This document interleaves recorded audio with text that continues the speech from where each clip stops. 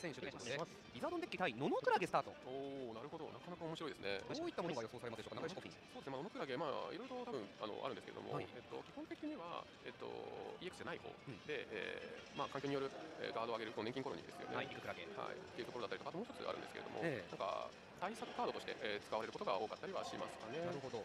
さあ出てきたのが？はい。見づらいですが。はい。カルボ。カルボですか、うん、カルボですねカルボです。かカルボビッパーもうグレーアルマヒロクリですかね。あなかなか面白いデッキですね。澤田誠選手、まあ、土佐選手はこの試合はまあ敗れてしまっているというね先ほどの勝ち星から見るとなんですけれどもさらにはアルセウスまでベンチにやってまいりますどんな戦い見せてくれるんでしょうか？そうですね、なかなか面白いですね。うん、まあ、でもアルセウスなんですね。なるほど。アルセウス V スターでエネルギーを加速して、ええアルマの火を切って、いろいろと技を使っていくというものなのかなと思いますね。サイエネルギーが入ってるので、草と炎で作ったのかな。うん、なるほど。なんか、あんまり主流というか、よく見るようなデッキではないんですけれども、ええ結構なんか考えられて面白いデッキですよね。CL 特に Day1 はこういったデッキが、まあ、見られる楽しみありますよね、うん、いいですよね。こういう、なんかちょっと普段とは当たらないようなデッキとかと対戦できるのは、まあいいのかなというか、まあ、なんか目立ってこないようなデッキと見れるのはいいことかなと思いますね。ですから土佐選手視点に立ってみたときに相手どういうことやってくるんだっけっていうそうですよね。余計な思考といいますかこう考えることが多くなりますよねノノクラゲってなんだっていう。何進化したら何なんだっていう、まあ、とりあえずまず進化させるかみたいな。うん、自分頑張るかみたいな感じですよね。仲良しポンから人影が2匹ペパーのですまあでも、草エネルギーが見えたってことは、やはりリザードン EX に対してかなり強めに、澤田選手考えられているデッキだと思うので、まあ、そういったところを、まあ、どういったカードが出てきて、リザードンを倒すのかみたいなところが注目ポイントなのかなと思いますね。ただあのまあ、先ほど、手田選手3試合目を対戦されて、あの勝ち上がったあの一勝、あの勝ち取りましたはい勝ち取ったんですけれども、まあそれで2敗したって言ってたので、まあちょっとそう触れない方向で、はい。試合結果自体はもう、ちょっと別のね世界線に行く可能性もなくはないかもしれない。怖いですよね、それはもう。さあここの1番目ビッパも2匹並べて番が返りますね。この2番目澤田選手なんじゃも。アルセウスは V3 に進化した状況です。かなり強い動きになります。そうですね、やはり先行2回目のまでアルセウスになれるということは、もうこのデッキにおいては多分一番求められていることだったと思うので、ええ。いい動きできてますよね。さらにはビーダルに進化。いやーこれはかなりプレッシャーがかかってくるが土佐選手はまだおそらくどういうギミックこれからどう戦っていくんだというのはまだわからないか、そうですね、まあでもとりあえずどのポケモンが技を打ってくるのかみたいなところは、まあ、大きいところは見えているので、えなんか何を警戒したらいいのかわからないんですけど、うん。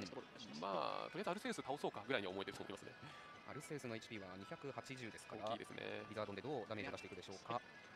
グレンアルマ。ハイパーボールで引き連れてきてテキストチェックです記憶いいですね。はい。まあ、基本的にはベンチの炎エネルギー、まあ、炎エネルギー限定なんですけれども、まあ、ベンチの炎エネルギーをバトルポケモンに使えるというところで、まあええ、炎のエネルギーをね、バーって前に送っていくっていうので、記憶いいって感じですね。それで一気に驚くようにダメージがえこの番でこんな出ちゃうの？というようなスピード感を持ってくることになりますさあスターバース創造主たるこの V スターパワー。好きなカード2枚ですから、1枚と2枚ではわけが違う、本当にわけが違うんですよね。いや、カードゲームにおいて1枚かわされるって非常に強いですからね。えー、対策はちょっとピジョットではできないところをしっかり V スターパワーで持ってダブルターボエネルギーをつけたアルセウス V スターバトルバエいや、いい動きですよね。しっかりとエネルギーついて。これでビッパー気絶。さらにはトリニティノバの効果で基本エネルギーがつきます。澤田選手としてはこれかなり盤石な動きですか？盤石な動きだと思いますね。やっぱり先行2回目の場にしっかりとある程度した技を使いにいけているので、ええ。でエネルギーも加速できているというところで、まあ、一安心というか、まあここからやっていくぞっていうような場面作れましたよね。さあしかしリザードンは終盤に強い。まずはベンチの人影がリザードンに進化。仲良しポフィンもうポフィンの味を覚えてしまいました我々ポケモンカード プレイヤー。まあ、強いですよね。美味しいです。いや、本当に。高くて美味しいです、本当に強いカードですよね。えー、HP70 以下の種ポケモン2匹まで、えーベンチに出すことができます。人影立派が並んで基本エネルギーは前の人影。まだリザードンではアルセウス V スターは倒せないので、えまあ、まだまだちょっとアルセウス V スター側がちょっと猶予というか、ゆっくりまだ構えられるかなっていう余裕のある番ではあると思いますね。ー先ほどペパーを使ったグッズは何ジャムでリセットされましたがもう一度ペパーをこの高校2番目使える土佐選手おエボリューションまあしっかりと複数育てていくっていう動きはありですよね。リザードンが、まあ、先ほどスターバースで1枚か2枚かと言いましたけどもリザードンが1匹か2匹かでも全然違いますね全然違いますね。まあ、まあ、あの先ほどおっしゃられた通り、やはりリザードンは後半から強くなっていくので、ええまあ、前半とかいかにはしっかりとリザードンが複数育てられる盤面を作り上げていくかっていうのは十分あの準備できたらいいのかなと思いますね。そういう意味では、戸田選手、今いい動きできてると思います。さあエボリューション宣言しましたエボリューションエボリューションの技マシンがまあ入って本当に駆け引きが多くなっているこの環境ですがいや私にいい刺激になってて、まあ、個人的にはかなりいいかなと思ってますね。はい。番が変わります先行の3番目澤田選手です。280ですからサイド3枚の時点でもリザードンが出せる火力は270そうですね、まあ、ただ、選手、マキシマムベルト入っていたのでなるほ、まあ、サイド2枚取ったタイミングからちょっとだけ警戒していきたい感じですね。澤田選手側からするとそうですねリザードンのデッキに組み込まれるエーススペックが何なのか、そうですね、えぱりサイド2枚取られた、まあ、取って自分が取ったタイミングで240ダメージ出てきて、でマキシマムベルトが入ってると290まで出るので、まあ、ある程度ブサイドも倒されてしまうというところ。で、ここのサイド1枚もちろん取るんですけれども、はい、これベンチもマフォクシー出ましたね。おーまあ、フォクシー出ました。か。そのままなるほどナンジャモです。マジカルファイヤーでベンチのポケモンまで火力が届くとちょっと話が変わってきますちょっと話が変わってきますね。これはいいカードじゃないですか。やはりしっかりとここでサイド2枚一気に取れたりすると、まあ、下回りがまだ出てませんからね。ええ。デッキにはいるんですけれども。一気にサイドを詰められるチャンスですよね。ハイパーボールを使用します。マジカルファイヤー前後に120ダメージ。さあそしてリククラゲが出てきて土佐選手の表情がちょっとん？というような形になりますなかなか なかなか細かいカードではありますよね。錬金コロニートラッシュにあるカードがトレーナーズの効果で手札に加えられなくなります。そうですね。なんかまあちょっとまああん。まりそんなにすごい覚えなくてもいいか。まあ本当にまさにこういう対戦ですよね。出てきた時におろうん。形にはなります。リーダーで手札もしっかりと補充しアルセウスが逃げマフォクシーがバトルバエそしてこのデッキの強いところが出ますグレン・アルマの特性でマフォクシーにエネルギーがついて日送りからのマジカルファイヤー。リザード。ンに育ちきっていない。ポケモンでは耐えることができない。リザードンはもうこの後1匹しか育ちません。い。やこの動き強かったですね。さあサイドは残り3枚です。高校の3番目土佐選手。素晴らしい動きですね澤田選手は。そうですね。やっぱりここまだ準備の段階でしっかりとポケモンを2まあ千葉県のラインですね。千葉リザードをしっかりと2匹倒せるっていうのはここから先なかなかね。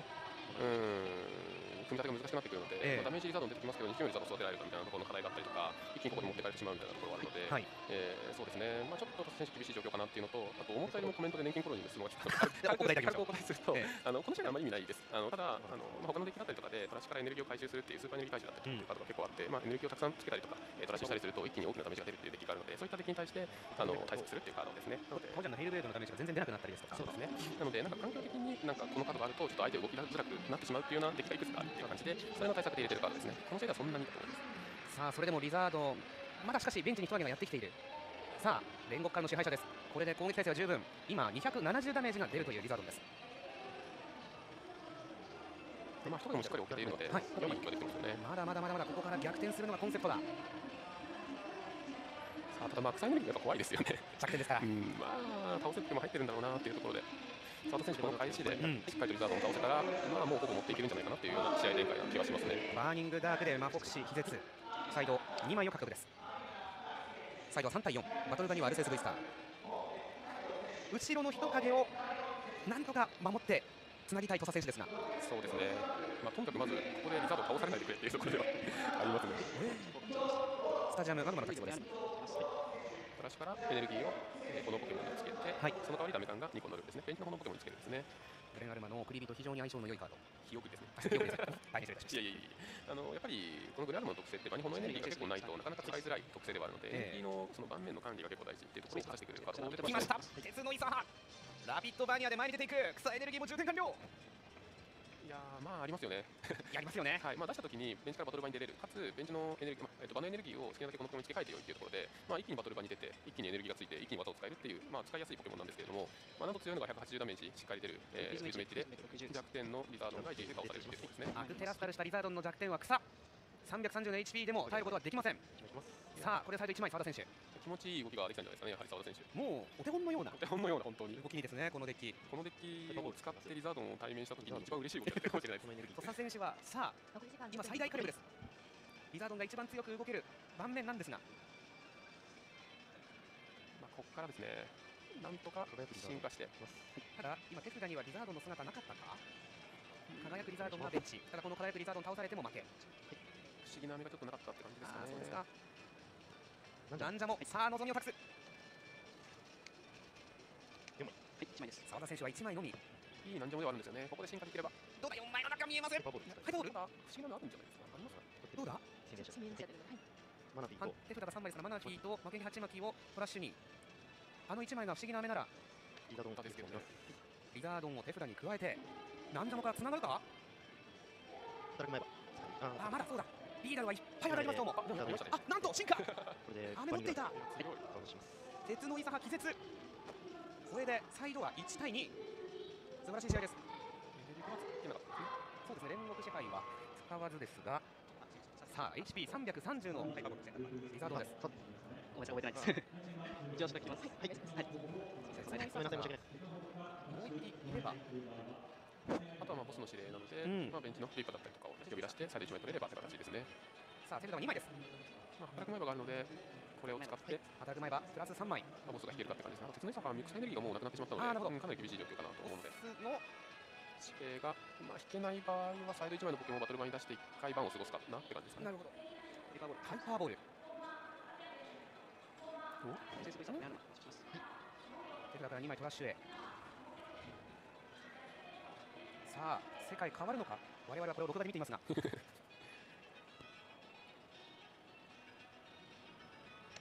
輝くリザードン。輝くリザードン。かま、ま、北 CV がまた来るのかと思いました。確かに 2匹採用となればちょっと面白いですが輝くリザードン。バーネット博士ですか。いや博士の研究ですね。はい。となるとボスの指令はこのターン。この番飛んでこない。